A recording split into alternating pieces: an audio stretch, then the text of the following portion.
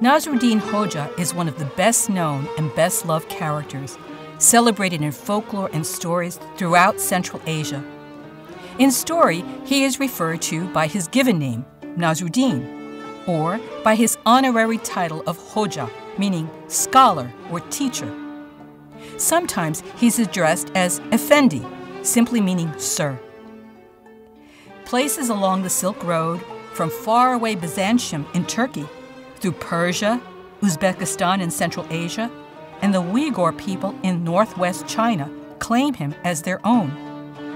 It is difficult to know whether the Hoja was actually a real person.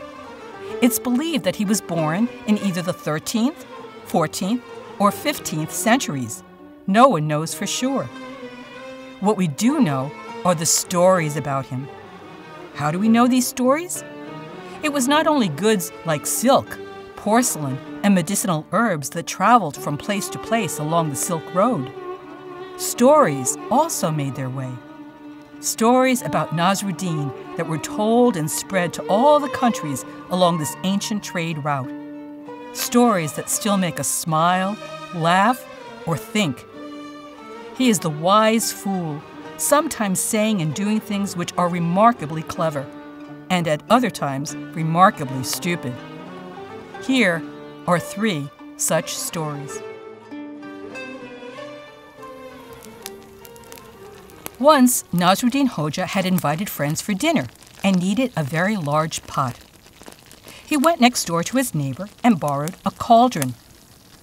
Some days after the feast, the Hoja placed a very tiny pot inside the cauldron and took both back to his neighbor. What is this?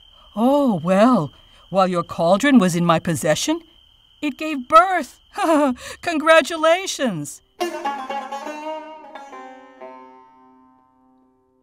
The neighbor, of course, was delighted and said nothing. He accepted both the cauldron and the tiny pot. Several days later, the Hoja again went to his neighbor to borrow his cauldron.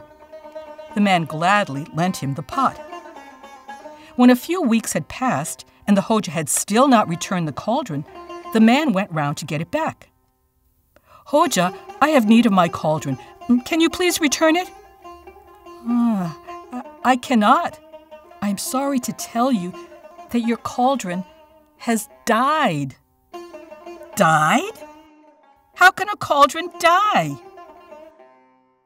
And what is the problem? You believed it could give birth.